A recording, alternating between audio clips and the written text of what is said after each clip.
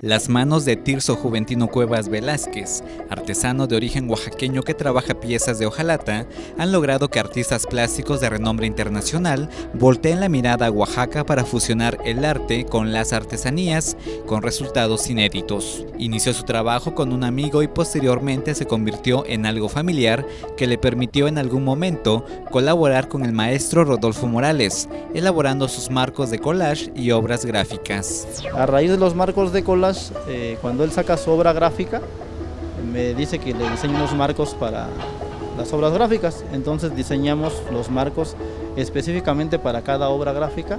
Cada serigrafía tiene su, marco en específico.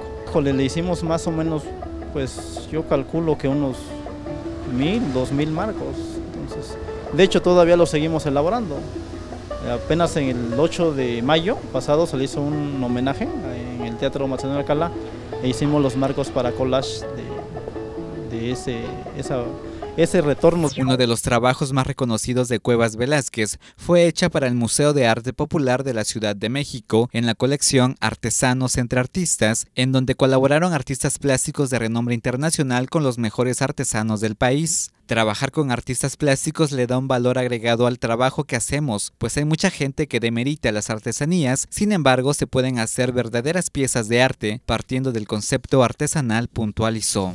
Con el, maestro Ricardo Regazzoni, que es el que diseñó la pieza, este, nos reunimos nada más una sola vez porque él vive en Holanda, viene de vacaciones a la Ciudad de México y yo también estoy en Oaxaca, entonces una sola vez nos reunimos le, llevé un fragmento de la pieza y ya trabajamos en lo que es el cerramiento de la pieza, en el, en el arco en sí para que ya se pudiera sacar. Es una estrella de ocho picos que va, va girando. Entonces allí en la unión del arco se une. Es una pieza que se elaboró en, en hoja lata, lisa, artesanalmente.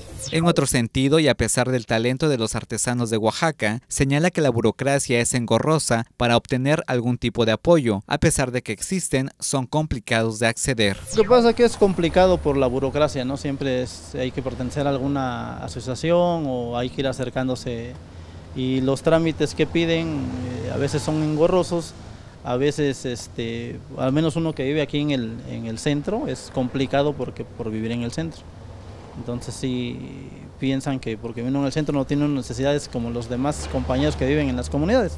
A la fecha, exportar es casi un sueño, a pesar de que lo ha hecho en pocas ocasiones para Estados Unidos e Italia, el trabajo se concentra en el mercado local y en sus ratos libres a trasladar su imaginación en piezas de hojalata de gran belleza. Con imágenes de José Antonio Reyes, informó para MVM Televisión Celestino Chacón.